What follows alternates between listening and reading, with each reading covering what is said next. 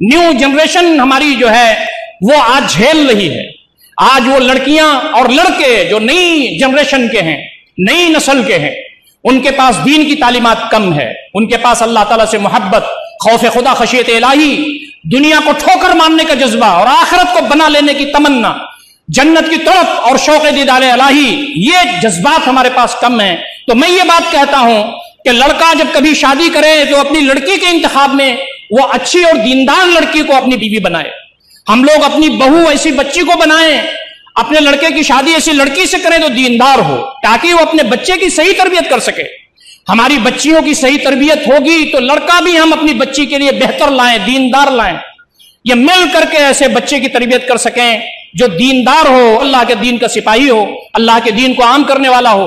आज कुफ्र है, शिरक है, जलालत है, गुमराही है तारीकी है। इसमें ऐसे जियालों की ज़रूरत है जो अल्लाह रबुल्जत के दीन को बेबाकाना अंदाज से बता सकें, समझा सकें, दलाल के साथ बात कर सकें, अल्लाह के दीन को लोगों के दरमियान पेश कर सकें काउंसलिंग के ज़रिए, दहलों को मुतमिन करने के ज़रिए लोगों को बता सकें कि अल्लाह का दीन ये